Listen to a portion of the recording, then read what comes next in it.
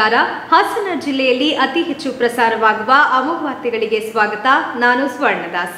ಈಗ ಮುಖ್ಯಾಂಶಗಳು. ಅಕ್ಟೋಬರ್ ಹದಿಮೂರರಿಂದ ಇಪ್ಪತ್ತೇಳರವರೆಗೆ ಹಾಸನಾಂಬ ದರ್ಶನ. ಈ ವರ್ಷ ಅದ್ದೂರಿಯಾಗಿ ಜಾತ್ರಾ ಮಹೋತ್ಸವ. ಜಿಲ್ಲಾ ಉಸ್ತುವಾರಿ ಸಚಿವ ಕೆ ಗೋಪಾಲಯ್ಯ ಹೇಳಿಕೆ. ಹನ್ನೊಂದು ದಿನಗಳ ದಸರಾ ದರ್ಬಾರ್ ಮಹೋತ್ಸವ. ಶ್ರೀರಂಭಾಪುರಿ ಪೀಠವು ಶರನ್ನವರಾತ್ರಿ ಪ್ರಯುಕ್ತ ಮಹೋತ್ಸವ. ಮಹೋತ್ಸವ ಅದ್ದೂರಿ ಆಚರಣೆ ಶಾಸಕ ಲಿಂಗೇಶ್ ಹೇಳಿಕೆ. ರೈತರಿಗೆ ವರ್ಷಕ್ಕೆ ಇನ್ನೂರ ನಲವತ್ತು ಕೋಟಿ ರು ಸಂದಾಯ. ಮುನ್ನೂರ ಇಪ್ಪತ್ತೇಳು ಸಂಘಗಳಿಂದ ಎರಡೂವರೆ ಲಕ್ಷ ಲೀಟರ್ ಹಾಲು ಸಂಗ್ರಹ. ಶಾಸಕ ಸಿಎನ್ ಬಾಲಕೃಷ್ಣ ಹೇಳಿಕೆ. ತಾಯಿ ಮತ್ತು ಭೂಮಿ ಸ್ವರ್ಗಕ್ಕಿಂತ ಮೇಲು, ಶಾಸಕ ಇಟಿ ರಾಮಸ್ವಾಮಿ ಅಭಿಪ್ರಾಯ. ಮತ್ತು ಪ್ರಮುಖ ನಗರಗಳ ಸಂಪರ್ಕ ರಸ್ತೆ ಗುಂಡಿಮಯ. ಸಕಾಲದಲ್ಲಿ ರಸ್ತೆ ಸರಿಪಡಿಸುವಂತೆ ಒತ್ತಾಯಿಸಿ ಪ್ರತಿಭಟನೆ, ಬೀದಿಗಿಳಿದ ಜಯ ಕರ್ನಾಟಕ ಸಂಘಟನೆಯ ಕಾರ್ಯಕರ್ತರು. ವಾರ್ತೆಗಳ ವಿವರ. ಮುಂದಿನ ತಿಂಗಳು ಹದಿಮೂರರಿಂದ ಅಕ್ಟೋಬರ್ ಇಪ್ಪತ್ತೇಳರವರೆಗೆ ಹಾಸನಾಂಬೆ ದೇವಾಲಯದ ಗರ್ಭಗುಡಿ ಬಾಗಿಲನ್ನು ತೆಗೆದು ಭಕ್ತರ ದರ್ಶನಕ್ಕೆ ಹದಿಮೂರು ದಿನಗಳ ಕಾಲ ಅವಕಾಶ. ಈ ವರ್ಷ ಅದ್ದೂರಿಯಾಗಿ ಜಾತ್ರಾ ಮಹೋತ್ಸವ ನಡೆಸಲಾಗುವುದು ಎಂದು ಜಿಲ್ಲಾ ಉಸ್ತುವಾರಿ ಸಚಿವ ಕೆ ಗೋಪಾಲಯ್ಯ ಹೇಳಿದರು. ಜಿಲ್ಲಾಧಿಕಾರಿ ಕಚೇರಿ ಸಭಾಂಗಣದಲ್ಲಿ ಹಿರಿಯ ಅಧಿಕಾರಿಗಳ ಸಭೆ ನಡೆಸಿದ ಬಳಿಕ ಮಾಧ್ಯಮದವರೊಂದಿಗೆ ಮಾತನಾಡಿದ ಅವರು ಅಕ್ಟೋಬರ್ ಹದಿಮೂರರಂದು ಗುರುವಾರ ಬೆಳಗ್ಗೆ ಹನ್ನೊಂದು ಗಂಟೆಗೆ ಹಾಸನಾಂಬ ದೇವಾಲಯ ಗರ್ಭಪುಡಿ ಬಾಗಿಲನ್ನು ಧಾರ್ಮಿಕ ವಿಧಿವಿಧಾನಗಳ ಪ್ರಕಾರ ತೆರೆಯಲಿದೆ. ಅಂದಿನಿಂದ ಹದಿನೈದು ದಿನಗಳ ಉತ್ಸವ ನಡೆಯಲಿದೆ. ಮೊದಲ ಹಾಗೂ ಕೊನೆಯ ದಿನ ಹೊರತುಪಡಿಸಿ ಇನ್ನುಳಿದ ಹದಿಮೂರು ದಿನಗಳು ಸಾರ್ವಜನಿಕ ದರ್ಶನಕ್ಕೆ ಅವಕಾಶ ಕಲ್ಪಿಸಲಾಗಿದೆ ಎಂದರು. ಹೂವಿನ ಅಲಂಕಾರ, ಪೂಜಾ ಕೈಂಕರ್ಯಗಳು, ಭದ್ರತೆ, ಪ್ರಸಾದ ವಿನಿಯೋಗ ಸೇರಿದಂತೆ ಎಲ್ಲ ಸಿದ್ಧತೆಗಳನ್ನು ಸಂಬಂಧಪಟ್ಟ ಇಲಾಖೆಗಳು ಜವಾಬ್ದಾರಿಯಿಂದ ನಿಭಾಯಿಸುವ ಸಲುವಾಗಿ ಸೂಚನೆ ನೀಡಲಾಗಿದೆ. ಯಾವುದೇ ಅಹಿತಕರ ಘಟನೆಗಳು ನಡೆಯದಂತೆ ನಿಗಾ ವಹಿಸಲಾಗುವುದು. ರಾಜ್ಯ ಮತ್ತು ಹೊರ ರಾಜ್ಯಗಳಿಂದ ಬರುವ ಭಕ್ತಾದಿಗಳಿಗೆ ಯಾವುದೇ ಸಮಸ್ಯೆಯಾಗದಂತೆ ಮುಂಜಾಗ್ರತೆ ವಹಿಸಲಾಗಿದೆ ಎಂದು ಸಚಿವರು ವಿವರಿಸಿದರು. ಈ ಬಾರಿ ಮುಖ್ಯಮಂತ್ರಿ ಬಸವರಾಜು ಬೊಮ್ಮಾಯಿ ಅವರನ್ನು ಒಳಗೊಂಡಂತೆ ಅನೇಕ ಜನ ಗಣ್ಯರನ್ನು ಆಹ್ವಾನಿಸಲಾಗುವುದು. ಮತ್ತೆ ಸಭೆ ಮಾಡಿ ದೇವಾಲಯದ ಬಗ್ಗೆ ಇನ್ನೂ ಹೆಚ್ಚಿನ ನಿಗಾ ವಹಿಸಿ ಯಶಸ್ವಿಗೊಳಿಸಲಾಗುವುದು ಎಂದು ಗೋಪಾಲಯ್ಯ ವಿವರಿಸಿದರು. ಇದೇ ವೇಳೆ ಶಾಸಕ ಪ್ರೀತಂ ಜೇಗೌಡ, ಜಿಲ್ಲಾಧಿಕಾರಿ ಅರ್ಚನಾ, ಜಿಲ್ಲಾ ಪೊಲೀಸ್ ವರಿಷ್ಠಾಧಿಕಾರಿ ಹರಿರಾಮ್ ಶಂಕರ್, ಉಪವಿಭಾಗಾಧಿಕಾರಿ ಬಿಎ ಜಗದೀಶ್ ಇತರರು ಹಾಜರಿದ್ದರು.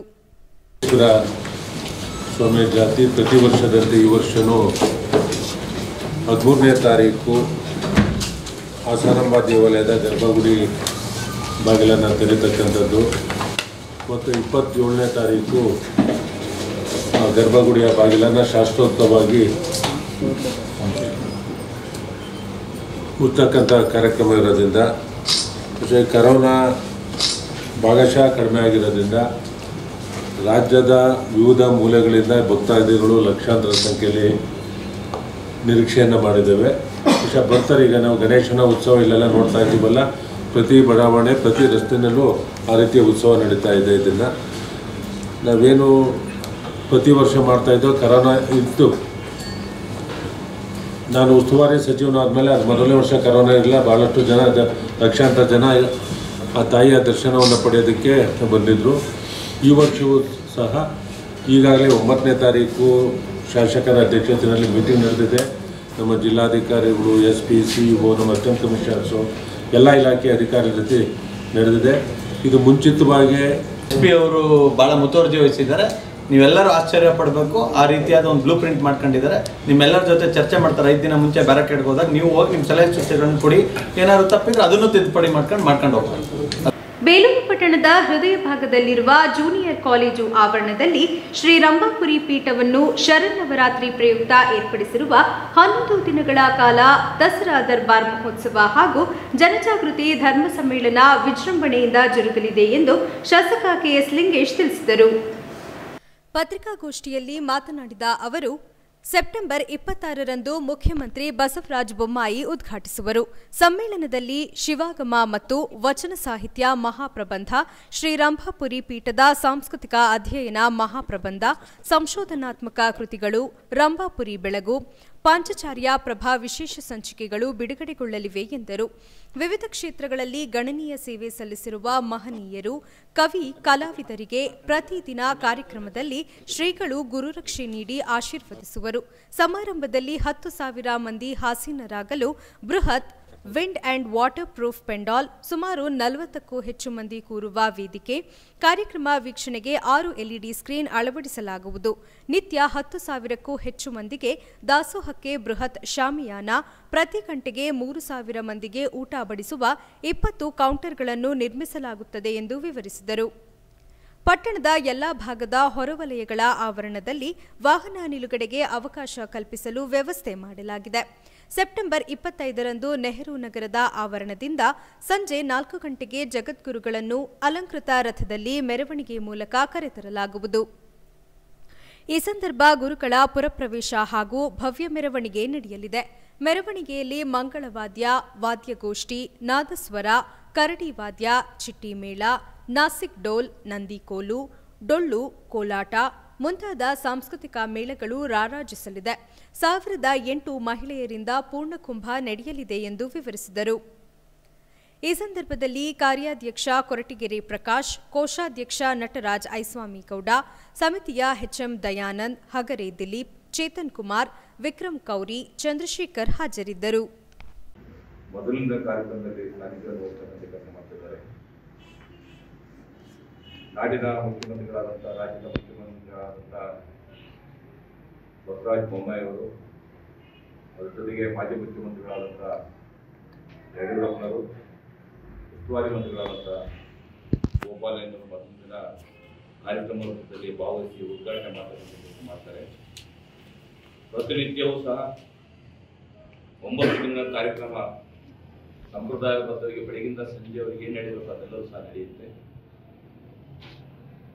ಎಲ್ಲ ದಿನಗಳಲ್ಲೂ ಸಹ ವಿವಿಧ ಪಕ್ಷಗಳ ರಾಜಕೀಯ ಮುಖಂಡರು, ಧಾರ್ಮಿಕ ಮುಖಂಡರುಗಳು, ಅನೇಕ ಜನ ಸ್ವಾಮೀಜಿಯವರು, ವಿಶೇಷವಾಗಿ ನಮ್ಮ ಮಾಜಿ ಪ್ರಧಾನಿಗಳಾದಂಥ ದೇವೇಗೌಡರು,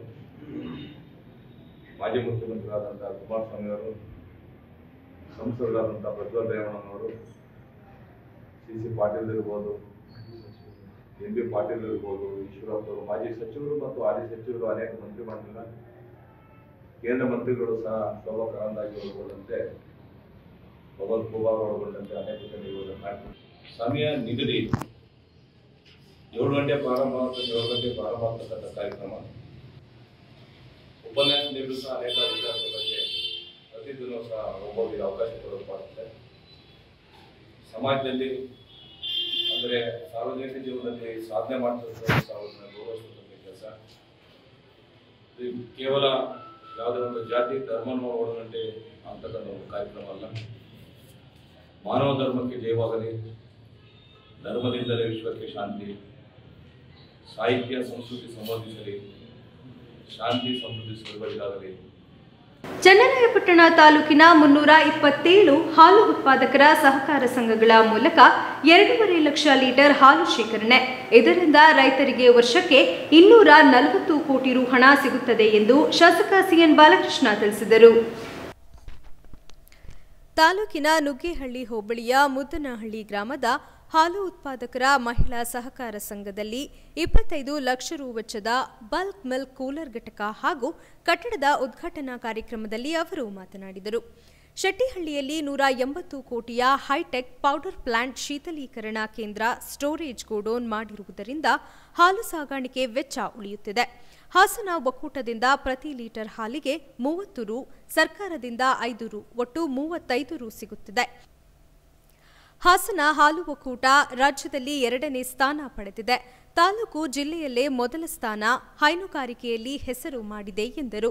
ಸಮಾರಂಭದಲ್ಲಿ ಮಹಿಳಾ ಸಹಕಾರ ಸಂಘದ ಅಧ್ಯಕ್ಷೆ ಚಂದ್ರಮ್ಮ, ಎಂಟಿ ರಂಗೇಗೌಡ, ಕಾರ್ಯದರ್ಶಿ ಪುಷ್ಪಾ ಉಮೇಶ್, ಕೃಷಿ ಪತ್ತಿನ ಸಂಘದ ಸದಸ್ಯೆ ಕೋಮಲಾ ಕುಮಾರಸ್ವಾಮಿ, ಎಂಬಿ ಶಿವಸ್ವಾಮಿ, ನೇತ್ರಾ ದೊರೆ ಮತ್ತು ಗ್ರಾಮಸ್ಥರು ಹಾಜರಿದ್ದರು. ಎರಡೂವರೆ ಲಕ್ಷ ಲೀಟರ್ ಹಾಲು ಬರ್ತಾ ಇದೆ. ಮೂವತ್ತೈದು ಸೊಸೈಟಿ ಮುನ್ನೂರ ಇಪ್ಪತ್ತೇಳು ಸೊಸೈಟಿ ಮಾಡಿದ ಅವು ಸೇರಿ ಒಂದು ದಿವ, ಒಂದು ತಿಂಗಳಿಗೆ ಇಪ್ಪತ್ತೆರಡು ಕೋಟಿ ಹಣ ಬರ್ತಾ ಇದೆ. ಇವತ್ತು ವರ್ಷ- ವರ್ಷಕ್ಕೆ ಇನ್ನೂರ ನಲ್ವತ್ತು ಕೋಟಿ ಹಣ ಬರ್ತಾ ಇದೆ.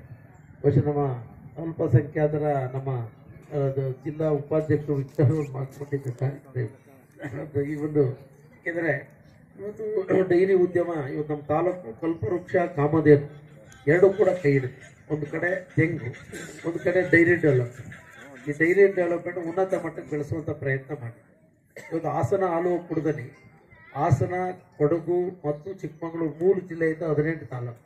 ಹನ್ನೊಂದುವರೆ ಲಕ್ಷ ಲೀಟ್ರ್, ಹದಿನೆಂಟು ತಾಲೂಕಿದೆ ಟೋಟಲ್ ಅದರ ಚಂದ್ರಾಯಪಟ್ಟಣದ ಪಾಲು ಎರಡೂವರೆ ಲಕ್ಷ.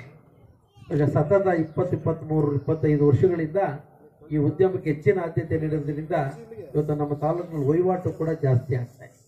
ಇವತ್ತು ಶೆಟ್ಟಿಹಳ್ಳಿ ಹತ್ರ ಇವತ್ತು ನೂರ ಎಪ್ಪತ್ತು ಕೋಟಿ ಪ್ರಾಜೆಕ್ಟ್ ತಂದಿದ್ದೇವೆ. ಯಾಕಂದರೆ ಹೆಚ್ಚಿಗೆ ಉತ್ಪಾದನೆ ಆದಂಥ ಹಾಲು. ಯಾಕಂದರೆ ಹಾಲನ್ನು ಹಾಲಾಗಿ ಮಾರಾಟ ಮಾಡದೆ ಹೋದಾಗ ಅದನ್ನು ಕನ್ವರ್ಷನಿಗೆ ತಗೋಬೇಕಾಗ್ತದೆ. ಕನ್ವರ್ಷನ್. ಆವಾಗ ನಾವು ಬೇರೆ ಸುಮಾರು ನಾನ್ನೂರು ಐನೂರು ಕಿಲೋಮೀಟರ್ ಹಾಲು ಕಳಿಸ್ಬೇಕಾಗುತ್ತೆ ಕೇವಲ ಮೂವತ್ತು ಕಿಲೋಮೀಟರ್ ದೂರಕ್ಕೆ ನಾವು ಹೋಗುತ್ತೆ.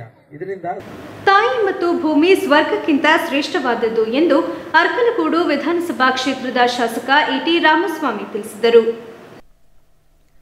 ಅವರು ತಾಲೂಕಿನ ಹಳ್ಳಿ ಮೈಸೂರು ಹೋಬಳಿ ವ್ಯಾಪ್ತಿಯ ನಿಡುವಣಿ ಗ್ರಾಮದಲ್ಲಿ ತಾಲೂಕು ಆಡಳಿತದ ವತಿಯಿಂದ ಹಮ್ಮಿಕೊಂಡಿದ್ದ ಜಿಲ್ಲಾಧಿಕಾರಿಗಳ ನಡೆ ಹಳ್ಳಿಯ ಕಡೆಗೆ ಕಾರ್ಯಕ್ರಮದಲ್ಲಿ ಪಾಲ್ಗೊಂಡು ಫಲಾನುಭವಿಗಳಿಗೆ ವಿವಿಧ ಯೋಜನೆಯಡಿ ಮಂಜೂರಾತಿ ಪತ್ರ ವಿತರಿಸಿ ಮಾತನಾಡಿದರು. ಇತ್ತೀಚೆಗೆ ಸಂಸ್ಕೃತಿ, ಸಂಪ್ರದಾಯ, ಮಾನವೀಯ ಮೌಲ್ಯ ಮರೆಯಾಗುತ್ತಿದ್ದು, ಇವುಗಳನ್ನು ಉಳಿಸಿ ಆ ಮೂಲಕ ಮಾನವೀಯತೆಗೆ ಹೆಚ್ಚು ಒತ್ತು ಕೊಡುವ ಕೆಲಸ ಪ್ರಮುಖವಾಗಿ ಎಲ್ಲರಿಂದಲೂ ಆಗಬೇಕಿದೆ. ಈ ನಿಟ್ಟಿನಲ್ಲಿ ಎಲ್ಲರ ಆಲೋಚನೆ ಸಕಾರಾತ್ಮಕವಾಗಿ ಸಾಗಬೇಕಿದೆ. ನೆಪ ಮಾತ್ರಕ್ಕೆ ಜಾತ್ಯತೀತ ಎಂಬ ಪದವನ್ನು ಬಳಸದೆ ಪ್ರಾಯೋಗಿಕವಾಗಿ ನಿಜ ಬದುಕಿನಲ್ಲಿ ಕಾರ್ಯಗೊಳಿಸಬೇಕಿದೆ ಎಂದರು. ಜಿಲ್ಲಾಧಿಕಾರಿಯವರು ಹೃದಯವಂತಿಕೆ ಭಾವನೆ ಉಳ್ಳವರಾಗಿದ್ದು ಅವರ ಕಾರ್ಯವೈಖರಿ ಪ್ರಸ್ತುತ ಸಮಾಜಕ್ಕೆ ಮಾದರಿಯಾಗಿದೆ. ಇದೇ ದಾಟಿಯನ್ನು ಮುಂದಿನ ದಿನಗಳಲ್ಲಿ ಅನುಸರಿಸಿಕೊಂಡು ಬರುವುದರ ಮೂಲಕ ಜಿಲ್ಲೆಯ ಸರ್ವತೋಮುಖ ಬೆಳವಣಿಗೆಗೆ ಪೂರಕವಾಗಿ ಶ್ರಮಿಸುವತ್ತ ದಿಟ್ಟ ಹೆಜ್ಜೆ ಇಡುತ್ತಾರೆಂಬ ಆಶಾಭಾವನೆಯನ್ನು ಈ ಮೂಲಕ ವ್ಯಕ್ತಪಡಿಸುತ್ತೇನೆಂದರು. ಜಿಲ್ಲಾಧಿಕಾರಿ ಎಂಎಸ್ ಅರ್ಚನಾ ಮಾತನಾಡಿದರು. ಈ ಸಂದರ್ಭದಲ್ಲಿ ತಾಲೂಕು ದಂಡಾಧಿಕಾರಿ ಕೆಕೆ ಕೃಷ್ಣಮೂರ್ತಿ, ತಾಲೂಕು ಪಂಚಾಯಿತಿ ಕಾರ್ಯನಿರ್ವಾಹಕ ಅಧಿಕಾರಿ ಪಿಆರ್ ಗೋಪಾಲ್ ಸೇರಿದಂತೆ ವಿವಿಧ ಇಲಾಖೆಯ ಕೆಲವು ಅಧಿಕಾರಿಗಳು ಹಾಜರಿದ್ದರು. ಆ ಮಾತೃ ಹೃದಯ ಇರ್ತಕ್ಕಂಥವ್ರು ನಮಗೆ ನಮ್ಮ ಜಿಲ್ಲೆಗೆ ಜಿಲ್ಲಾಧಿಕಾರಿಗಳಾಗಿ ಬಂದಿದ್ದಾರೆ. ಆ ಸ್ಥಾನದ ಘನತೆ, ಗೌರವವನ್ನ, ಹಿರಿಮೆಯನ್ನ ಅತಿ ಎತ್ತರಕ್ಕೆ ತೆಗೆದುಕೊಂಡು ಹೋಗ್ತಾರೆ ಅಂತಕ್ಕಂಥ ಈ ಕೆಲವೇ ದಿವಸಗಳನ್ನು ನೋಡಿದ್ದನ್ನ ನಾನು ಹೇಳ್ತಾ ಇದ್ದೀನಿ. ಅದನ್ನು ಉಳಿಸ್ಕೊಂಡು ಹೋಗ. ಮನುಷ್ಯ ಮೀನಿನಂತೆ ಈಜೋದನ್ನು ಕಲ್ತ, ಹಕ್ಕಿಯಂತೆ ಹಾರೋದನ್ನು ಕಲ್ತ, ಆದರೆ ಮನುಷ್ಯನನ್ನ ಮನುಷ್ಯನಾಗಿ ಬಾಳೋದನ್ನ ಕಲೀಲಿಲ್ವಲ್ಲ ಅಂತಕ್ಕಂಥ ನೋವು ನನಗಿದೆ. ನಾವಿನ್ನು ಮನುಷ್ಯರಾಗಿ ಬಾಳೋದನ್ನ ಇನ್ನೂ ಕಲೀಲೇ ಇಲ್ಲ ನಾವು ಎಲ್ಲ ಜೀವಿಗಳಿಗಿಂತ ಅತ್ಯಂತ ಶ್ರೇಷ್ಠ ಜೀವಿಗಳು ಅಂತ ಹೇಳ್ಕೊಳ್ತೀವಿ. ಅದರ ಮನುಷ್ಯತ್ವ ಕಳ್ಕೊಂಡು ಹೋಗ್ತಾ ಇದ್ದೀವಿ. ರಾಕ್ಷಸಿ ಪ್ರವೃತ್ತಿ ನೋಡ್ತಾ ಇದ್ದೀವಿ. ನೈಜ ಮೌಲ್ಯಗಳು ಕುಸಿತಾ ಇದ್ದಾವೆ. ಮೌಲ್ಯಗಳಿಗೆ ದಾರಿದ್ರ್ಯ ಬಂದ್ಬಿಟ್ಟಿದೆ. ಉಳಿದಿದೆಯಾ ಏನಾದ್ರು ನೀತಿ ನಿಯಮ? ಹಿರಿಯರು ಹೇಳಿ ಉಳಿದಿದೆಯಾ? ಇಲ್ಲ ಅಂತೀರ? ಉಳಿದೇ ಉಳಿದೇ ಅಲ್ವಾ ಆ ಉಳಿಸ್ತಕ್ಕಂಥ ಪ್ರಯತ್ನ ನಾವು ಮಾಡದೇ ಇದ್ರೆ ಮುಂದಿನ ದಿನಗಳಲ್ಲಿ ದೊಡ್ಡ ಪ್ರಪಾತವನ್ನೇ ನಾವು ಅನುಭವಿಸ್ಬೇಕಾಗ್ತದೆ. ನಾನು ಅಲ್ಲಿ ಮೇಲ್ಕೊಂಡದಲ್ಲಿ ಹೇಳ್ತಾ ಇದ್ದೆ ಒಂದು ಮಾತನ್ನು. ನಮ್ಮ ಸಮಾಜದಲ್ಲಿ ಒಂದು ಸಂಸ್ಕಾರ ಸಂಸ್ಕೃತಿ, ಸಂಪ್ರದಾಯಗಳಿದ್ದು ಎಂತೆಂಥ ಉನ್ನತ ಸಂಸ್ಕೃತಿಯನ್ನ, ಸಂಪ್ರದಾಯಗಳನ್ನ ನಾವು ಹಿರಿಯೋ ನಮಗೆ ಬಿಟ್ಕೊಟ್ಟು ಅದನ್ನೆಲ್ಲ ನಾವು ಬಿಸಾಡ್ತಾ ಇದ್ದೀವಿ. ಈಗ ನಾವು ನಿಲಗುಂದದಲ್ಲೂ ಕಾರ್ಯಕ್ರಮ ಮುಗಿಸಿ ಬಂದ್ವಿ ಅಲ್ಲಿ ಶಾಸಕರು ನಲವತ್ತು ಜನರಿಗೆ ಪಗರುಹುಕುಂ ಮಾಡ್ಕೊಂಡಿದ್ದಂಥವರಿಗೆ ಗ್ರ್ಯಾಂಟ್ ಮಾಡಿ ಬಂದಿದ್ದಾರೆ. ನಾವು ಮಾಮೂಲಿ ಮಾಡ್ತಾ ಇದ್ದಿದ್ದು ಜಿಲ್ಲಾಧಿಕಾರಿ ನಡೆಹಳ್ಳಿ ಕಡೆ ನಮ್ಮ ಏನು ಪೆನ್ಷನ್ಸ್ ಆಗಲಿ ಅಥವಾ ಖಾತೆ ತಿದ್ದುಪಡಿ ಇಂಥ ಕೆಲಸಗಳೆಲ್ಲ ಮಾಡ್ಕೊಂಡು ಬರ್ತಾ ಇದ್ವಿ. ಆದರೆ ಶಾಸಕರು ಹೊಸದಾಗಿ, ವಿನೂತನವಾಗಿ ನಿಲುಗುಂದ ಮತ್ತೆ ಇಲ್ಲಿ ನಿಡುವಣಿಯಲ್ಲಿ ಬಗರ್ ಹುಕುಂ ಸಮಿತಿ ಸಭೆಗಳನ್ನ ನಡೆಸಿ ಇಲ್ಲಿ ಗ್ರಾಂಟ್ಗಳನ್ನ ಮಾಡೋದ್ರ ಮೂಲಕ ಹೊಸ ಅರ್ಥ ಮತ್ತು ಹೊಸ ಇದನ್ನು ಕೊಟ್ಟಿದ್ದಾರೆ. ಅವ್ರಿಗೆ ಧನ್ಯವಾದಗಳನ್ನ ಹೇಳ್ತೀನಿ. ಅವರು ಏನು ಉಳ್ಕೊಂಡಿತ್ತು? ಕೆಲವು ನಾರು ಅದನ್ನು ಕೊಡಿಸೋದಕ್ಕೆ ಅಂತ ಹೇಳಿ ಎಲ್ಲ ವ್ಯವಸ್ಥೆ ಮಾಡಿದ್ದಾರೆ. ಅದಲ್ಲದೆ ನಿಮ್ಮ ಏನು ಸಮಸ್ಯೆಗಳಿದ್ದಾವೆ ನಿಮ್ಮ ಅರ್ಜಿಗಳೇನಿದ್ದಾವೆ ಅದನ್ನು ಕೂಡ ಇಲ್ಲಿ ತಗೊಂಡು ಪರಿಹಾರ ಮಾಡಲಿಕ್ಕೆ ಅಂತ ಹೇಳಿ ವ್ಯವಸ್ಥೆ ಮಾಡಿದ್ದಾರೆ. ವಿಶ್ವವಿಖ್ಯಾತ ಬೇಲೂರಿನಿಂದ ಗೆಂಡಿಹಳ್ಳಿ ಮಾರ್ಗವಾಗಿ ಮೂಡಿಗೆರೆ ಧರ್ಮಸ್ಥಳದಂತಹ ಪ್ರಮುಖ ನಗರಗಳಿಗೆ ಸಂಪರ್ಕ ಕಲ್ಪಿಸುವ ರಸ್ತೆ ಸಂಪೂರ್ಣ ಗುಂಡಿ ಬಿದ್ದಿದ್ದು ದುರಸ್ತಿ ಮಾಡಿಸುವಂತೆ ಜಯ ಕರ್ನಾಟಕ ಸಂಘಟನೆಯ ಕಾರ್ಯಕರ್ತರು ಪ್ರತಿಭಟನೆ ನಡೆಸಿದರು. ಬೇಲೂರು ನಗರದ ಕಳಸಿನಕೆರೆ ಏರಿಯ ಮೇಲೆ ಬಿದ್ದಿದ್ದ ಗುಂಡಿಗಳಿಗೆ ಗಿಡ ನೆಟ್ಟು ಕೆಲಕಾಲ ಧರಣಿ ನಡೆಸಿ ಪ್ರತಿಭಟಿಸಿದ ಪ್ರತಿಭಟನಾಕಾರರು ಲೋಕೋಪಯೋಗಿ ಇಲಾಖೆ ವಿರುದ್ಧ ಧಿಕ್ಕಾರ ಕೂಗಿ ಆಕ್ರೋಶ ವ್ಯಕ್ತಪಡಿಸಿದರು. ಈ ಸಂದರ್ಭದಲ್ಲಿ ಜಯ ಕರ್ನಾಟಕ ಸಂಘಟನೆಯ ಜಿಲ್ಲಾಧ್ಯಕ್ಷ ಎಂಕೆಆರ್ ಸೋಮೇಶ್ ಮಾತನಾಡಿ, ಐತಿಹಾಸಿಕ ಪಾರಂಪರ್ಯವುಳ್ಳ ಬೇಲೂರು ಹಳೇಬೀಡು ಪ್ರವಾಸಿ ತಾಣಗಳ ವೀಕ್ಷಣೆಗೆ ಪ್ರತಿನಿತ್ಯ ದೇಶ ವಿದೇಶಗಳಿಂದ ಸಾವಿರಾರು ಪ್ರವಾಸಿಗರು ಆಗಮಿಸುತ್ತಾರೆ. ಅಲ್ಲದೆ ಸ್ಥಳೀಯ ಗ್ರಾಮಗಳ ಜನರು ಕೂಡ ಇದೇ ರಸ್ತೆಯಲ್ಲಿ ಪ್ರತಿನಿತ್ಯ ಕೆಲಸ ಕಾರ್ಯಗಳಿಗೆ ಓಡಾಡುತ್ತಾರೆ. ಆದರೆ ಈ ರಸ್ತೆಯ ಉದ್ದಕ್ಕೂ ಗುಂಡಿ ಬಿದ್ದಿದೆ. ವಾಹನ ಹಾಗೂ ಬೈಕ್ ಸವಾರರು ರಸ್ತೆಯಲ್ಲಿ ಸಂಚರಿಸದ ಹೀನಾಯ ಪರಿಸ್ಥಿತಿ ನಿರ್ಮಾಣವಾಗಿದೆ ಎಂದು ತಮ್ಮ ಆಕ್ರೋಶ ವ್ಯಕ್ತಪಡಿಸಿದರು.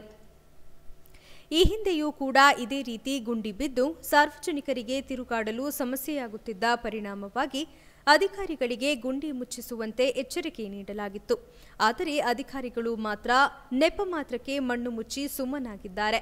ಈ ಕೂಡಲೇ ಅಧಿಕಾರಿಗಳು ಎಚ್ಚೆತ್ತುಕೊಂಡು ಈ ರಸ್ತೆಯನ್ನು ಸರಿಪಡಿಸದಿದ್ದರೆ ಉಗ್ರವಾದ ಪ್ರತಿಭಟನೆ ನಡೆಸಲಾಗುತ್ತದೆ ಎಂದು ಎಚ್ಚರಿಕೆ ನೀಡಿದರು. ಈ ಸಂದರ್ಭದಲ್ಲಿ ಲಕ್ಷ್ಮಣ್, ಹೇಮಂತ್, ಚರಣ್, ರಂಜಿತ್, ಗುರು ಸೇರಿದಂತೆ ಮತ್ತಿತರರು ಹಾಜರಿದ್ದರು. ಮಾರ್ಗದ ರಸ್ತೆ ಪ್ರತಿನಿತ್ಯ ಶಾಲಾ, ಕಾಲೇಜುಗಳ ಮಕ್ಕಳು ಮತ್ತು ವಾಹನ ಸಂಚಾರಿಕರು ಪ್ರತಿನಿತ್ಯ ಓಡಾಡ್ತಾರೆ. ಈ ಇದನ್ನು ನಮ್ಮ ಶಾಸಕರಾಗ್ಬೋದು ಪ್ರತಿನಿತ್ಯ ಇದೇ ರಸ್ತೆಯಲ್ಲೇ ಓಡಾಡ್ತಾರೆ. ನಾನು ಅಧಿಕಾರಿಗಳಿಗೆ ಪುಟ್ಟರಾಜಪ್ಪರಿಗೆ ಪುಟ್ಟಸ್ವಾಮಿ ಎ ಡಬಲ್ಗೆ ಹೇಳಕ್ಕೆ ಒಂದು ತಿಂಗಳಾಯಿತು. ಬರೀ ರಸ್ತೆ ಗುಂಡಿ ಮುತ್ತೀವಿ ಮುತ್ತೀವಿ ಅಂತಾರೆ, ಮುತ್ತೇ ಇಲ್ಲ. ಈ ಮಳೆ ಬಂದಂಥ ಸಂದರ್ಭದಲ್ಲಿ ರಸ್ತೆ ಯಾವುದು ಗುಂಡಿ ಯಾವುದು ಅಂತ ಗೊತ್ತಾಗಲ್ಲ ಫುಲ್ ನೀರು ತುಂಬಿರುತ್ತೆ. ಪ್ರತಿನಿತ್ಯ ಆಕ್ಸಿಡೆಂಟ್ಗಳು ಇಲ್ಲ ಆಗ್ಬೋದು, ದೊಡ್ಡ ಮೇಲೆ ಗಾಡಿಗಳು ಆಗ್ಬೋದು. ಇದೇ ರೀತಿ ಬಿಕ್ಕೋ, ಇದು- ರೀತಿ ಬಿಕ್ಕೋಡ್ ರಸ್ತೆ ಆಗ್ಬೋದು, ಇದೇ ರೀತಿ ಬಿಕ್ಕೋಡ್ ರಸ್ತೆ ಆಗ್ಬೋದು. ಸಂಪೂರ್ಣ ಹದಗೆಟ್ಟಿದೆ ನಾವು ಎಷ್ಟೇ ಸಮೇತ ಹೇಳಿದ್ರು ಸಮೇತ ಇದನ್ನ ಕೆಲಸ ಗುಂಡಿ ಮುಚ್ಚ ಕಾರ್ಯಕ್ರಮ ಮಾಡ್ತಾ ಇಲ್ಲ ನಾವು ತಾತ್ಕಾಲಿಕವಾಗಿ ಮಳೆ ನಿಂತ ಮೇಲೆ ನಮಗೆ ರಸ್ತೆ ಮಾಡಿಕೊಡಿ ತಾತ್ಕಾಲಿಕವಾಗಿ ನಮಗೆ ರಸ್ತೆ ಗುಂಡಿ ಮುಚ್ಚಿಕೊಡಿ ಅಂತ ಹೇಳ್ತಿದ್ದೀವಿ ಆದರೂ ಸಮೇತ ಒಂದು, ಒಂದೂವರೆ ತಿಂಗಳಿಂದ ಬರೀ ಇದೇ ಇದೇ ಇದೇ ಉತ್ತರ ಹೇಳ್ತಾರೆ. ಬರೀ ಹೂವು, ಪೂವ ಹೇಳ್ತಾರೆ ವಿನ ಬಿಟ್ಕೊಂಡ್ರೆ ರಸ್ತೆ ಮಾಡ್ತಾ ಇಲ್ಲ. ನಮಗೆ ಕೂಡಲೇ ಈ ವಾರದಲ್ಲಿ ನಮಗೆ ಇದು ಎಮರ್ಜೆನ್ಸಿ ಗುಂಡಿ ಮುಚ್ಚೋ ಕೆಲಸ ಆಗ್ಬೋದು. ಮೊನ್ನೆ ಎರಡು ಜನ ಇಲ್ಲಿ ಬೈಕಲ್ಲಿ ಆಕ್ಸಿಡೆಂಟ್ ಆಗಿ ಎರಡು ಜನ ಕೈ ಕಾಲು ಮುಟ್ಕೊಂಡಿದ್ದಾರೆ ಇದೇ ರೀತಿ ಏನಾದ್ರು ನಿಮ್ಮೊಂದು ಎರಡು ದಿವಸದಲ್ಲಿ ನಮಗೆ ರಸ್ತೆ ಗುಂಡಿ ಮುಚ್ಕೊಡ್ಲಿಲ್ಲ ಅಂದ್ರೆ ನಾವು ಪಿ ಡಬ್ಲ್ಯೂ ಡಿ ಇಲಾಖೆ ಮುತ್ತಿಗೆ ಹಾಕೋ ಮುಖಾಂತರ ನಾವು ಉಗ್ರವಾದ ಹೋರಾಟವನ್ನು ಹಮ್ಮಿಕೊಳ್ಬೇಕಾಗ್ತದೆ.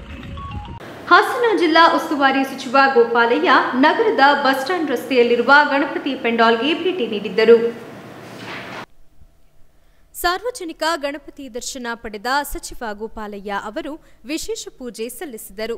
ವಿಶೇಷವಾಗಿ ದೇವರ ಉತ್ಸವಕ್ಕೆ ಬರಬೇಕೆಂದು ಸಮಿತಿಯವರ ಆಹ್ವಾನವನ್ನ ಸ್ವೀಕರಿಸಿ, ಅಂದು ರಾಜಧಾನಿಯಲ್ಲಿ ಪೂರ್ವ ನಿರ್ಧಾರ ಕಾರ್ಯಕ್ರಮದಲ್ಲಿ ಭಾಗವಹಿಸಬೇಕೆಂದು ವಿವರಿಸಿ ಕಾರ್ಯಕ್ರಮ ಯಶಸ್ವಿಯಾಗಲು ಸಹಕಾರ ನೀಡುತ್ತೇನೆಂದು ಹೇಳಿದರು. ಈ ಸಮಯದಲ್ಲಿ ಡಾಕ್ಟರ್ ನಾಗರಾಜ್ ಸಚಿವರನ್ನು ಶಾಲು ಹೊದಿಸಿ ಗೌರವಿಸಿದರು. ಈ ಸಂದರ್ಭದಲ್ಲಿ ಗಣಪತಿ ಸೇವಾ ಸಮಿತಿಯ ಅಧ್ಯಕ್ಷ ಡಾಕ್ಟರ್ ನಾಗರಾಜು, ಕಾರ್ಯದರ್ಶಿ ಚನ್ನವೀರಪ್ಪ, ಧರ್ಮದರ್ಶಿಗಳು ಮತ್ತು ಅಮೋಘ್ ವಾಹಿನಿ ಮುಖ್ಯಸ್ಥರಾದ ಕೆಪಿಎಸ್ ಪ್ರಮೋದ್ ಮುಂತಾದವರು ಹಾಜರಿದ್ದರು.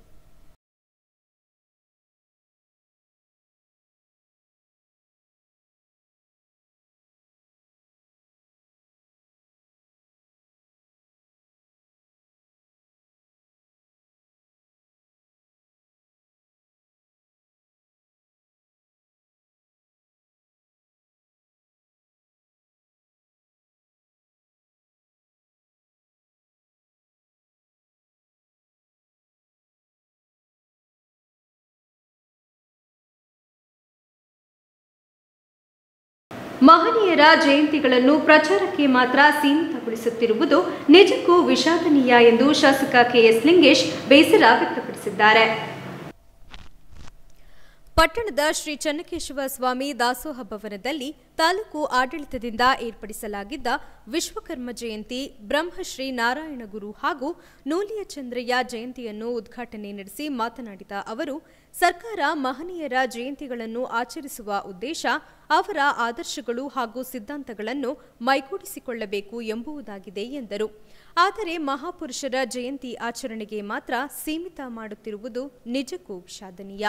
ಅವರ ತತ್ವ ಸಿದ್ಧಾಂತಗಳನ್ನು ಪ್ರತಿಯೊಬ್ಬರೂ ಅಳವಡಿಸಿಕೊಳ್ಳದಿದ್ದಲ್ಲಿ ಎಂದಿಗೂ ಸಹ ಒಬ್ಬ ಉತ್ತಮ ಪ್ರಜೆಯಾಗಲು ಸಾಧ್ಯವಿಲ್ಲ. ನಾವೆಲ್ಲರೂ ಒಂದೇ. ಮೇಲು ಕೀಳು ಯಾವುದೂ ಇಲ್ಲ ಎಂದು ಸಾಧು ಸಂತರು ದಾಸ ಸಾಹಿತ್ಯ ವಚನ ನಮ್ಮ ಸಂಸ್ಕೃತಿಯ ಮೂಲಕ ಅನೇಕ ಬಾರಿ ನುಡಿದಿದ್ದರೂ ಸಹ ಅದು ಮುಂದುವರೆಸಲು ಸಾಧ್ಯವಾಗುತ್ತಿಲ್ಲ ಎಂದು ಶಾಸಕರು ವಿಷಾದಿಸಿದರು. ಇತ್ತೀಚೆಗೆ ವಿದ್ಯಾವಂತರ ಸಂಖ್ಯೆ ಜಾಸ್ತಿಯಾದಂತೆ ಜಾತಿ ಪದ್ಧತಿ ಹೋಗಲಾಡಿಸಲು ಯಾರಿಂದಲೂ ಸಾಧ್ಯವಾಗುತ್ತಿಲ್ಲ. ರಾಜಕೀಯಕ್ಕಾಗಿ ಒಂದೊಂದು ಜಾತಿ ಧರ್ಮವನ್ನು ಎತ್ತಿಕಟ್ಟುವಂತಹ ಸನ್ನಿವೇಶ ನಿರ್ಮಾಣವಾಗುತ್ತಿದೆ. ಇದರಿಂದ ಮುಂದಿನ ಯುವಜನಾಂಗಕ್ಕೆ ಮಾರಕವಾಗಲಿದೆ. ನಾವೆಲ್ಲರೂ ಹಿಂದೂ ಧರ್ಮ ಒಂದೇ ಎನ್ನುತ್ತೇವೆ. ಆದರೆ ಆಚರಣೆ ಮಾತ್ರ ಬೇರೆ ಬೇರೆಯಾಗಿ ವಿಂಗಡಣೆ ಮಾಡುತ್ತಿದ್ದೇವೆಂದು ಬೇಸರ ವ್ಯಕ್ತಪಡಿಸಿದರು. ಪುರಸಭೆ ಮಾಜಿ ಅಧ್ಯಕ್ಷ ಹಾಗೂ ಬ್ರಹ್ಮಶ್ರೀ ನಾರಾಯಣಗುರು ಸಂಘದ ಅಧ್ಯಕ್ಷ ಶಾಂತಕುಮಾರ್ ಮಾತನಾಡಿ ಅಸ್ಪೃಶ್ಯತೆ, ಅನಾಚಾರ, ಮೂಢನಂಬಿಕೆ ಎಂಬ ಹಣೆಪಟ್ಟಿಯಿಂದ ಕೇರಳ ಸರ್ಕಾರದಲ್ಲಿ ದೊಡ್ಡ ಕೂಗು ಇದ್ದ ದಿನಮಾನದಲ್ಲಿ ಬ್ರಹ್ಮಶ್ರೀ ನಾರಾಯಣ ಗುರುಗಳು ಪಾದಸ್ಪರ್ಶದಿಂದ ಆ ದೇವರ ನಾಡಿನಲ್ಲಿದ್ದ ಪಿಡುಕುಗಳು ದೂರವಾಗಿ ಕೇರಳ ರಾಜ್ಯ ಅಕ್ಷರಸ್ಥರಿಂದ ಕೂಡಿ ಇಡೀ ದೇಶವೇ ತಿರುಗಿ ನೋಡುವಂತಾಗಿದೆ ಎಂದರು. ವಿಶ್ವಕರ್ಮ ಸಮಾಜದ ತಾಲೂಕು ಅಧ್ಯಕ್ಷ ಪುರುಷೋತ್ತಮಾಚಾರ್ ಮಾತನಾಡಿ, ವಿಶ್ವಕರ್ಮ ಸಮಾಜವು ಕೇವಲ ಒಂದು ಜನಾಂಗದ ಧರ್ಮಕ್ಕೆ ಸೀಮಿತವಾಗಿಲ್ಲ. ನಾವು ಸರ್ಕಾರಕ್ಕೆ ಹಲವು ಬಾರಿ ಶ್ರೀ ಚನ್ನಕೇಶವ ದೇಗುಲದ ಬಳಿ ವಿಶ್ವಕರ್ಮ ಹಾಗೂ ಜಕಣಾಚಾರಿ ಮ್ಯೂಸಿಯಂ ಸ್ಥಾಪಿಸಲು ಮನವಿ ಮಾಡಿದ್ದೇವೆ. ಬೇಲೂರಿನ ಪ್ರಮುಖ ವೃತ್ತಕ್ಕೆ ನಾಮಕರಣ ಮಾಡಲು ಮನವಿ ಮಾಡಿದ್ದರೂ ಅದು ಕಾರ್ಯಗತವಾಗಿಲ್ಲ ಎಂದು ಹೇಳಿದರು. ತಹಸೀಲ್ದಾರ್ ರಮೇಶ್ ಮಾತನಾಡಿದರು. ಈ ವೇಳೆ ಪತ್ರಕರ್ತ ಗಣೇಶ್, ಲಕ್ಷ್ಮಣ್ ರವಿ ಹುಳ್ಳ ಇವರನ್ನು ಸನ್ಮಾನಿಸಲಾಯಿತು. ಈ ಸಂದರ್ಭದಲ್ಲಿ ವಿಶ್ವಕರ್ಮ ಸಮಾಜದ ಯುವ ಘಟಕದ ಅಧ್ಯಕ್ಷ ಜಗದೀಶ್, ಪತ್ರಕರ್ತರ ಸಂಘದ ಅಧ್ಯಕ್ಷ ರಾಘವೇಂದ್ರ ಹುಳ್ಳ ಶಿವಮರಿಯಪ್ಪ ಆರ್ಎಸ್ ಮಹೇಶ್, ಮಂಜುನಾಥ್, ಸುಬ್ರಹ್ಮಣ್ಯ ಇತರರು ಹಾಜರಿದ್ದರು. ಮಾತಾಡ್ತಕ್ಕಂಥದ್ದು. ಮತ್ತೆ ನಂತರ ದಿನಗಳಲ್ಲಿ ಮಾಮೂಲಿ ಕೆಲಸ ಕಾರ್ಯಗಳನ್ನು ತೊಡಗಿಕೊಂಡು ಯಾವುದೇ ನಮ್ಮ ಜೀವನದಲ್ಲಿ ಬದಲಾವಣೆ ಮಾಡಿಕೊಳ್ಳದಿದ್ರೆ ಈ ಜಯಂತ್ಯೋತ್ಸವದಕ್ಕೆ ಯಾವುದೇ ಒಂದು ವಿಶೇಷ ಇರುವುದಿಲ್ಲ. ನಾರಾಯಣಪುರ ಇರ್ಬೋದು, ಕೇರಳದಲ್ಲಿ ಹದಿನೆಂಟನೇ ಶತಮಾನದ ಅಂತ್ಯದಲ್ಲಿ ಅವರು ಅಲ್ಲಿರ್ತಕ್ಕಂಥ ಅಸ್ಪೃಶ್ಯರ ಪರವಾಗಿ ಸಮಾಜದಲ್ಲಿ ತುಳಿತಕ್ಕೊಳಗಾದಂತಹ ಜನರ ಪರವಾಗಿ ಸಂಘಟನೆ ಮಾಡಿ ಯಾವ ದೇವಾಲಯದಲ್ಲಿ ನಮಗೆ ಅವಕಾಶ ಇರೋದಿಲ್ಲ ಅಂತ ದೇವಾಲಯಗಳಿಗೆ ನಾವೇ ಹೋಗೋದು ಬೇಡ. ನಾವೇ ನಮ್ಮದೇ ಆದ ಶಿವನ ದೇವಸ್ಥಾನವನ್ನು ಕಟ್ಟಬೇಕು ಅಂತ ಕೇವಲ ಹೇಳಿಕೆ ನೀಡಿದ್ದೆಲ್ಲ ಕಾರ್ಯರೂಪಕ್ಕೆ ತಂದು ಆ ವರ್ಗದ ಜನರ ಪ್ರತಿನಿಧಿಯಾಗಿ ಸಮಾಜಕ್ಕೆ ಅರಿವು ಮೂಡಿಸ್ತಕ್ಕಂಥ ಕೆಲಸ ಮಾಡಿ. ಇತರೆ ಸಮಾಜದಂತೆ ನಾವು ಸಹ ಒಬ್ಬರು ಮನುಷ್ಯರು ಅನ್ನೋ ರೀತಿಯಲ್ಲಿ ಬದುಕಕ್ಕೆ ಅವಕಾಶ ಕೊಟ್ಟಂತವರು ನಾರಾಯಣ ಗುರುಗಳು. ಆಸ್ಪತ್ರೆ ಪದವನ್ನ ಬಳಸಿ ಹೋಗ್ತಾರೆ ಇವತ್ತಿನ ಸಂದರ್ಭದಲ್ಲಿ ಇವತ್ತು ಕೇರಳ ರಾಜ್ಯ ಅನಕ್ಷ ಅನಕ್ಷರತೆಯಿಂದ ಮುಕ್ತ ಹೊಂದಿ, ಅಕ್ಷರಸ್ಥರಾಗಿ, ಇವತ್ತು ಪ್ರಜ್ಞಾವಂತರಾಗಿ, ಇವತ್ತು ಸಮಾಜ ಸುಧಾರಣೆ ಆಗಲಿಕ್ಕೆ ಹೋರಾಟದ ಆ ಅಂತ ಸಂದರ್ಭವನ್ನು ಈಗ ಪ್ರಚುರ ಸಂಧೆಯನ್ನು ಇವತ್ತು ಸಮಾಜದಲ್ಲಿ ಇವತ್ತು ಪ್ರಜ್ಞಾವಂತರು ಮತ್ತು ಅನಕ್ಷರತೆ ಇಲ್ಲದೇ ಇರೋ ರಾಜ್ಯ ಕೇರಳ ಆಗಿದೆ ಅಂದರೆ ಅದಕ್ಕೆ ನಾರಾಯಣಗೌಡರು ಕಾರಣ. ಸ್ಥಾನದಲ್ಲಿ ಒಂದು ಪರಂಪರೆ ಇದೆ. ಈ ಜಗತ್ತು ಯಾವ ರೀತಿ ಸೃಷ್ಟಿ ಆಯಿತು ಅನ್ನೋದನ್ನ ನಾವು ಮನಗಂಡಾಗ ಬ್ರಹ್ಮ, ವಿಷ್ಣು, ಮಹೇಶ್ವರ ಈ ತ್ರಿಮೂರ್ತಿಗಳ ಒಂದು ಸಮ್ಮಿಲನದಿಂದ ಈ ಜಗತ್ ಸೃಷ್ಟಿ ಆಯಿತು ಅನ್ನೋದು ನಮ್ಮ ಹಿಂದೂ ಶಾಸ್ತ್ರ, ಶಾಸ್ತ್ರದಲ್ಲಿ ನಾವು ಇವತ್ತು ಅರಿತುಕೊಳ್ತಾ ಇದೆ ಆ ಒಂದು ನಿಟ್ಟಿನಲ್ಲಿ ಈ ಬ್ರಹ್ಮನ ಮಾನಸ ಪುತ್ರನಾಗಿ ವಿಶ್ವಕರ್ಮ ಪರಬ್ರಹ್ಮಗೆ ಒಂದು ಆಜ್ಞೆಯನ್ನು ಕೊಡ್ತಾರೆ ಬ್ರಹ್ಮ, ಬ್ರಹ್ಮರ್ಷಿಗಳು. ಈ ಒಂದು ವಿಶ್ವಕರ್ಮ, ವಿಶ್ವ ಅಂದರೆ ಈ ಜಗತ್ತು ಕರ್ಮ ಅಂದ್ರೆ ಕೆಲಸ. ವಿಶ್ವದ ಕೆಲಸವನ್ನು ಮಾಡುವಂತಹ ವಿಶ್ವಕರ್ಮ ಇವತ್ತು ಚಿರಂಜೀವಿ. ಲೋಕ ಕಲ್ಯಾಣಕ್ಕಾಗಿ ಇಂದು ನಗರದ ಹಳೆ ಬಸ್ ನಿಲ್ದಾಣ ರಸ್ತೆಯಲ್ಲಿರುವ ಗಣಪತಿ ಪೆಂಡಾಲ್ನಲ್ಲಿ ಗಣಹೋಮ ಕಾರ್ಯಕ್ರಮ ಹಮ್ಮಿಕೊಳ್ಳಲಾಗಿತ್ತು.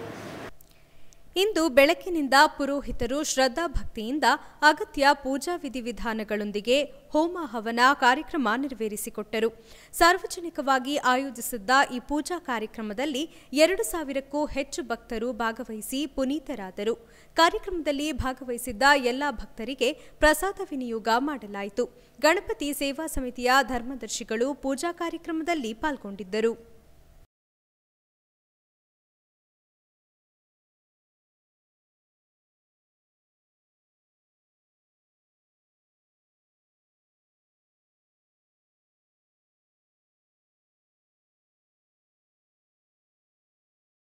ಬೇಲೂರು ತಾಲೂಕಿನ ಅರೆಹಳ್ಳಿಯ ಸರ್ಕಾರಿ ಪ್ರೌಢಶಾಲೆಯಲ್ಲಿ ದೈಹಿಕ ಶಿಕ್ಷಕರಿಲ್ಲದಿದ್ದರೂ ಬೇಲೂರಿನಲ್ಲಿ ಜರುಗಿದ ತಾಲೂಕು ಮಟ್ಟದ ಕ್ರೀಡಾಕೂಟದಲ್ಲಿ ಕಬಡ್ಡಿಯಲ್ಲಿ ಪ್ರಥಮ ಹಾಗೂ ವಾಲಿಬಾಲ್ ಸ್ಪರ್ಧೆಯಲ್ಲಿ ದ್ವಿತೀಯ ಸ್ಥಾನ ಪಡೆದು ವಿದ್ಯಾರ್ಥಿಗಳು ಶಾಲೆಗೆ ಕೀರ್ತಿ ತಂದಿದ್ದಾರೆ.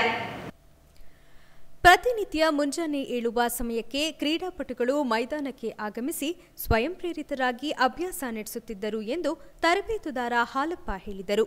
ಶಾಲಾ ಶಿಕ್ಷಣ ಹಾಗೂ ಸಾಕ್ಷರತಾ ಇಲಾಖೆ ವತಿಯಿಂದ ಜೂನಿಯರ್ ಕಾಲೇಜು ಆಟದ ಮೈದಾನದಲ್ಲಿ ಆಯೋಜನೆ ಮಾಡಲಾಗಿದ್ದ ತಾಲೂಕು ಮಟ್ಟದ ಕ್ರೀಡಾಕೂಟದಲ್ಲಿ ಗುಂಪು ವಿಭಾಗದಲ್ಲಿ ಭಾಗವಹಿಸಿ ಕಬಡ್ಡಿಯಲ್ಲಿ ಪ್ರಥಮ ಹಾಗೂ ವಾಲಿಬಾಲ್ನಲ್ಲಿ ದ್ವಿತೀಯ ಸ್ಥಾನ ಪಡೆದು ಗಣನೀಯ ಸಾಧನೆ ಮಾಡಿದ್ದಾರೆ. ಇದು ಸಂತಸದ ವಿಷಯ ಎಂದು ತಿಳಿಸಿದರು. ಈ ಸಂದರ್ಭದಲ್ಲಿ ಹಾಲಪ್ಪ ಮಾತನಾಡಿ, ವಿದ್ಯಾರ್ಥಿಗಳು ಬೆಳಗ್ಗೆ ಐದು ಗಂಟೆಯಿಂದ ಎಂಟು ಗಂಟೆಯವರೆಗೂ ಕಠಿಣ ಅಭ್ಯಾಸ ನಡೆಸುತ್ತಿದ್ದರು. ಅಭ್ಯಾಸ ಮುಗಿದ ಬಳಿಕ ಮನೆಗೆ ಹಿಂತಿರುಗಿ ಶಾಲೆಯ ಪಾಠ ಪ್ರವಚನಕ್ಕೆ ಅಣಿಯಾಗುತ್ತಿದ್ದರು. ಶಾಲೆಯಲ್ಲಿ ಕಳೆದ ಕೆಲವಾರು ವರ್ಷಗಳಿಂದ ದೈಹಿಕ ಶಿಕ್ಷಕರಿಲ್ಲದಿದ್ದರೂ ಶಿಕ್ಷಕರು ಬೆಳಗ್ಗೆ ತಮ್ಮ ತರಗತಿಗಳನ್ನು ಮುಗಿಸಿದ ಬಳಿಕ ಕೊನೆಯ ಅವಧಿಯನ್ನು ಕ್ರೀಡಾಭ್ಯಾಸಕ್ಕೆ ಮೀಸಲಿಡಲಾಗುತ್ತಿದ್ದ ವೇಳೆ ಎಲ್ಲ ಶಿಕ್ಷಕರು ಸಂಪೂರ್ಣ ಸಹಕಾರ ನೀಡಿದ್ದನ್ನು ಸ್ಮರಿಸಿದರು. ದೈಹಿಕ ಶಿಕ್ಷಕ ಇದ್ದಿದ್ದರೆ ರಾಜ್ಯ ರಾಷ್ಟ್ರಮಟ್ಟದಲ್ಲಿ ಮಿಂಚುತ್ತಿದ್ದರು. ಯಾವುದೇ ಪ್ರತಿಫಲಾಕ್ಷೆ ಇಲ್ಲದೆ ವಿದ್ಯಾರ್ಥಿಗಳಲ್ಲಿ ಕ್ರೀಡಾಸಕ್ತಿ ಮನಗಂಡು ಉಚಿತವಾಗಿ ತರಬೇತಿ ನೀಡಿದೆ ಎಂದು ಹಾಲಪ್ಪ ಹೇಳಿದರು. ಈ ವೇಳೆ ಶಾಲಾ ಮುಖ್ಯ ಶಿಕ್ಷಕಿ ಶಬಾನಾ ಬಾನು, ಇತರೆ ಶಿಕ್ಷಕರು ಹಾಗೂ ಸಿಬ್ಬಂದಿಗಳು ಉಪಸ್ಥಿತರಿದ್ದರು.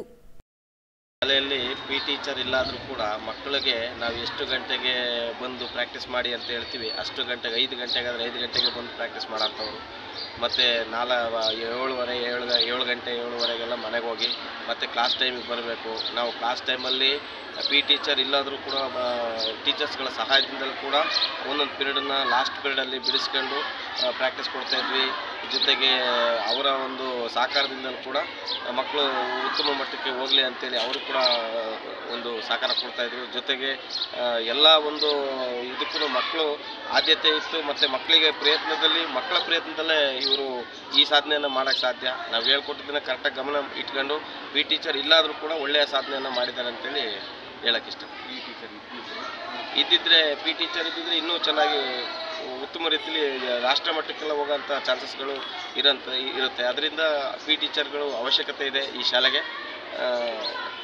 ದಯಮಾಡಿ ಈ ಶಾಲೆಗೆ ಪಿ ಟೀಚರ್ನ ತರಿಸ್ಕೊಳ್ಳೋದಕ್ಕೆ ಅವಕಾಶ ಮಾಡಿ ನರೇಂದ್ರ ಮೋದಿ ಹುಟ್ಟುಹಬ್ಬದ ಪ್ರಯುಕ್ತ ನಗರದ ತೇರಾ ಪಂತ್ ಸಂಘದ ವತಿಯಿಂದ ರಕ್ತದಾನ ಶಿಬಿರವನ್ನು ಆಯೋಜಿಸಲಾಗಿತ್ತು. ನಗರದ ತೇರಾಪಂತ್ ಸಂಘದ ವತಿಯಿಂದ ಪ್ರಧಾನಮಂತ್ರಿ ನರೇಂದ್ರ ಮೋದಿ ಹುಟ್ಟುಹಬ್ಬದ ಪ್ರಯುಕ್ತ ರಕ್ತದಾನ ಶಿಬಿರವನ್ನು ಆಯೋಜಿಸಲಾಗಿತ್ತು. ಶಿಬಿರದಲ್ಲಿ ಯುವಕರು ಬಹಳ ಉತ್ಸಾಹದಿಂದ ಪಾಲ್ಗೊಂಡಿದ್ದರು. ಶಿಬಿರವನ್ನು ತೇರಾಪಂತ್ ಯುವಕ ಸಂಘದ ಅಧ್ಯಕ್ಷ ಗೌರವ್ ಗುಲ್ಗುಲಿಯಾ ಮತ್ತು ಉಪಾಧ್ಯಕ್ಷ ಸೋಹನ್ ಲಾಲ್ ಜೈನ್ ಮಾತನಾಡಿದರು. ಅಖಿಲ ಭಾರತೀಯ ಯುವಕ ಪರಿಷತ್ತಿನಿಂದ ಆಲ್ ಓವರ್ ಇಂಡಿಯಾ ಕರೆ ಕೊಟ್ಟಿದ್ದಾರೆ. ಮೆಗಾ ಬ್ಲಡ್ ಡೊನೇಷನ್ ಡ್ರೈವ್ ಅಂತ.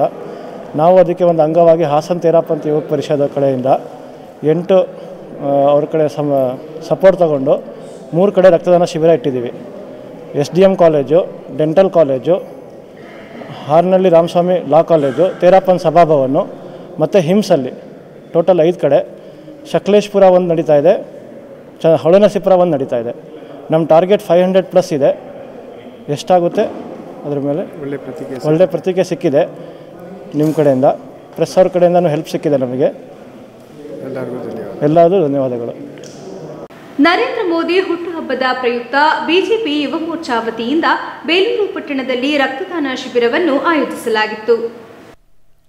ಪಟ್ಟಣದ ಕೆಂಪೇಗೌಡ ವೃತ್ತದ ಬಳಿ ಯುವ ಮೋರ್ಚಾ ವತಿಯಿಂದ ಏರ್ಪಡಿಸಿದ್ದ ಶಿಬಿರವನ್ನು ಉದ್ಘಾಟಿಸಿ ಮಾತನಾಡಿದ ಬಿಜೆಪಿ ಜಿಲ್ಲಾಧ್ಯಕ್ಷ ಹುಲ್ಲಳ್ಳಿ ಸುರೇಶ್ ಅವರು, ಪ್ರಧಾನಿ ನರೇಂದ್ರ ಮೋದಿಯವರು ಹತ್ತು ಹಲವು ಜನಪರ ಕಾರ್ಯಕ್ರಮಗಳನ್ನು ಆಯೋಜಿಸುವುದರ ಮೂಲಕ ವಿಶ್ವದ ಮಹಾನ್ ನಾಯಕರಾಗಿ ನಿಂತಿದ್ದಾರೆ. ಅವರ ಎಪ್ಪತ್ತೆರಡನೇ ಜನ್ಮದಿನದ ಅಂಗವಾಗಿ ಸೇವಾ ಪ್ರಾಕ್ಷಿಕೆ ಮೂಲಕ ಅವರ ಹುಟ್ಟುಹಬ್ಬವನ್ನು ಆಚರಣೆ ಮಾಡುತ್ತಿದ್ದೇವೆ ಎಂದರು.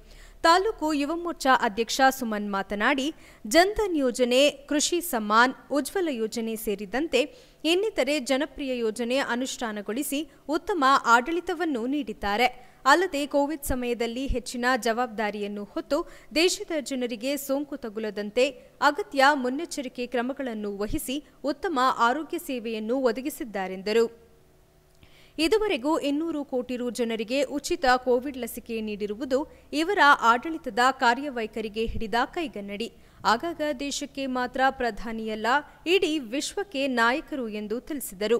ಮಾಜಿ ಬಿಜೆಪಿ ಜಿಲ್ಲಾಧ್ಯಕ್ಷ ಕುಮಾರ್ ಮಾತನಾಡಿದರು.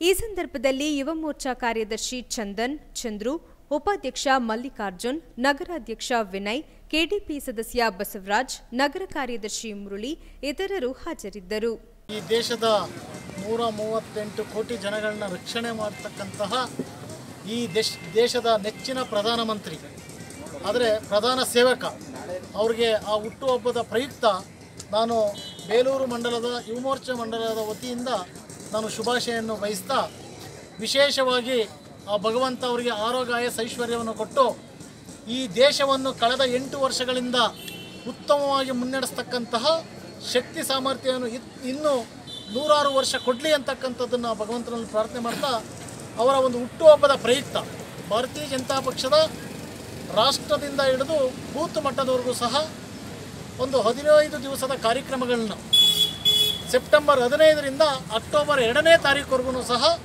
ಹದಿನೈದು ಕಾರ್ಯಕ್ರಮಗಳನ್ನ ಮಾಡುವುದರ ಮುಖಾಂತರ ಪ್ರಪ್ರಥಮವಾಗಿ ನಿನ್ನೆ ಹದಿನೇಳನೇ ತಾರೀಕು ಅವರು ಹುಟ್ಟುಹಬ್ಬ.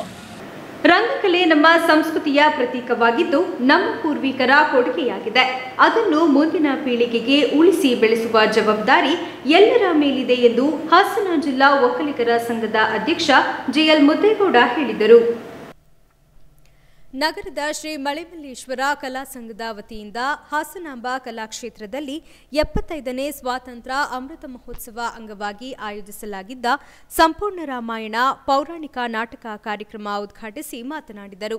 ಹಿರಿಯ ಸ್ವಾತಂತ್ರ್ಯ ಹೋರಾಟಗಾರ ಎಚ್ಎಂ ಶಿವಣ್ಣ ಮಾತನಾಡಿ, ಜಿಲ್ಲೆಯಲ್ಲಿ ಅದೆಷ್ಟೋ ಕಲಾವಿದರಿದ್ದಾರೆ. ಅವರನ್ನು ಗುರುತಿಸುವ ಕೆಲಸವಾಗಬೇಕು. ಪೌರಾಣಿಕ ನಾಟಕಗಳು ಒಂದು ಕಾಲದ ಇತಿಹಾಸವನ್ನು ಇನ್ನೊಂದು ಕಾಲಕ್ಕೆ ಕೊಂಡೊಯ್ದು ಆ ಪೀಳಿಗೆಗೆ ಪರಿಚಯಿಸುವ ಕೆಲಸ ಮಾಡುತ್ತದೆ. ಇಂತಹ ಕಲೆಯನ್ನು ಮುಂದಿನ ತಲೆಮಾರಿಗೆ ಉಳಿಸಿ ಬೆಳೆಸುವ ಕೆಲಸವಾಗಬೇಕಾದರೆ ಯುವಕರು ಹೆಚ್ಚು ರಂಗಭೂಮಿಯಲ್ಲಿ ತೊಡಗಿಸಿಕೊಳ್ಳಬೇಕು ಎಂದರು. ಎಚ್ಎಲ್ ಪಾಲಾಕ್ಷಾಚಾರ್ ಸೀಗೆನಾಡು, ಇವರ ದಕ್ಷ ನಿರ್ದೇಶನದಲ್ಲಿ ಹಿರಿಯ ಕಲಾವಿದ ರಾಮಲಿಂಗೇಗೌಡ, ರಾಮನ ಪಾತ್ರ, ನಿವೃತ್ತ ಎಎಸ್ಐ ನಾಗರಾಜ್, ದಶರಥನ ಪಾತ್ರದಲ್ಲಿ ಶಿಕ್ಷಕ ಕುಬೇರಾಚಾರ್, ಆಂಜನೇಯನ ಪಾತ್ರದಲ್ಲಿ ಕೆಪಿಟಿಸಿಎಲ್ ನೌಕರ ಅಶೋಕ್ ಲಕ್ಷ್ಮಣನ ಪಾತ್ರದಲ್ಲಿ ಮೂರ್ತಿ ಭರತನ ಪಾತ್ರದಲ್ಲಿ ಶಿಕ್ಷಕ ರೇವಣ್ಣ, ರಾವಣನ ಪಾತ್ರಗಳು ಪ್ರೇಕ್ಷಕರ ಮೆಚ್ಚುಗೆಗೆ ಪಾತ್ರರಾಗಿ ಸಿಳ್ಳೆ ಚಪ್ಪಾಳೆಗಳು ಮೂಡಿಬಂದವು. ಕಾರ್ಯಕ್ರಮದಲ್ಲಿ D H O Shivaswamy Rangappa Das Gundaraj, Appajigowda, Ningaraj, guarantee Ramanna ಮುಂತಾದವರು ಉಪಸ್ಥಿತರಿದ್ದರು. ಕೊನೆಯಲ್ಲಿ ಮತ್ತೊಮ್ಮೆ ಮುಖ್ಯಾಂಶಗಳು. ಅಕ್ಟೋಬರ್ ಹದಿಮೂರರಿಂದ ಇಪ್ಪತ್ತೇಳರವರೆಗೆ ಹಾಸನಾಂಬ ದರ್ಶನ. ಈ ವರ್ಷ ಅದ್ಧೂರಿಯಾಗಿ ಜಾತ್ರಾ ಮಹೋತ್ಸವ. ಜಿಲ್ಲಾ ಉಸ್ತುವಾರಿ ಸಚಿವ ಕೆ ಗೋಪಾಲಯ್ಯ ಹೇಳಿಕೆ. ಹನ್ನೊಂದು ದಿನಗಳ ದಸರಾ ದರ್ಬಾರ್ ಮಹೋತ್ಸವ. ಶ್ರೀರಂಭಾಪುರಿ ಪೀಠವು ಶರನ್ನವರಾತ್ರಿ ಪ್ರಯುಕ್ತ ಮಹೋತ್ಸವ. ಮಹೋತ್ಸವ ಅದ್ದೂರಿ ಆಚರಣೆ ಶಾಸಕ ಲಿಂಗೇಶ್ ಹೇಳಿಕೆ. ರೈತರಿಗೆ ವರ್ಷಕ್ಕೆ ಇನ್ನೂರ ನಲವತ್ತು ಕೋಟಿ ರು ಸಂದಾಯ. ಮುನ್ನೂರ ಇಪ್ಪತ್ತೇಳು ಸಂಘಗಳಿಂದ ಎರಡೂವರೆ ಲಕ್ಷ ಲೀಟರ್ ಹಾಲು ಸಂಗ್ರಹ. ಶಾಸಕ ಸಿಎನ್ ಬಾಲಕೃಷ್ಣ ಹೇಳಿಕೆ. ತಾಯಿ ಮತ್ತು ಭೂಮಿ ಸ್ವರ್ಗಕ್ಕಿಂತ ಮೇಲು. ಶಾಸಕ ಇಟಿ ರಾಮಸ್ವಾಮಿ ಅಭಿಪ್ರಾಯ. ಮತ್ತು ಪ್ರಮುಖ ನಗರಗಳ ಸಂಪರ್ಕ ರಸ್ತೆ ಗುಂಡಿಮಯ. ಸಕಾಲದಲ್ಲಿ ರಸ್ತೆ ಸರಿಪಡಿಸುವಂತೆ ಒತ್ತಾಯಿಸಿ ಪ್ರತಿಭಟನೆ. ಬೀದಿಗಿಳಿದ ಜಯ ಕರ್ನಾಟಕ ಸಂಘಟನೆಯ ಕಾರ್ಯಕರ್ತರು. ಮುಂದಿನ ವಾರ್ತಾ ಸಂಚಿಕೆಯೊಂದಿಗೆ ಮತ್ತೆ ಭೇಟಿಯಾಗೋಣ. ವಂದನೆಗಳು.